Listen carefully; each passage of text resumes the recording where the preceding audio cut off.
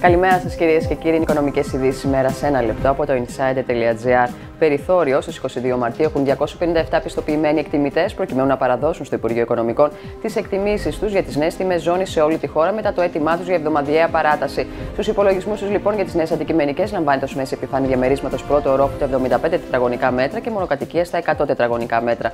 Ο προσδιορισμός της τιμής προκύπτει σύμφωνα με αποδεδειγμένη εκτενή έρευνα της κτήματα αγοράς στη συγκεκριμένη υφιστάμενη ζώνη.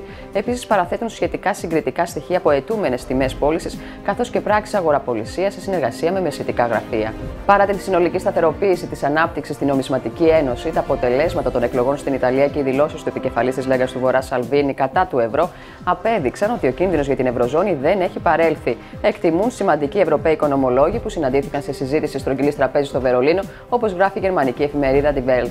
Στη συνάντηση των οικονομολόγων, λοιπόν, συζητήθηκαν τα σχέδια έκτακτης ανάγκης στην περίπτωση μιας πιθανής κατάρρευσης Ευρωζώνης, γράφει η γερμανική εφημερίδα και προσθέτει: Το ευρώ μπορεί παρά την θετική ανάπτυξη ανά πάσα στιγμή να ξανασκοντάψει και για να μπορούν να αντιδράσουν σε ενδεχόμενες προθέσεις μεμονωμένων χωρών να βγουν από την Ευρωζώνη, οι κορυφαίοι οικονομολόγοι επεξεργάζονται τώρα μια στρατηγική εξόδου από το ευρώ. Σήμερα αναμένεται εκτός απρόπτου να κατατεθούν οι προσφορές για την Forthnet, η διαδικασία πώλησης της οποίας έχει καθυστερήσει σημαντικά, επιβαρύνοντας περαιτέρω τη χρηματοοικονομική της κατάσταση.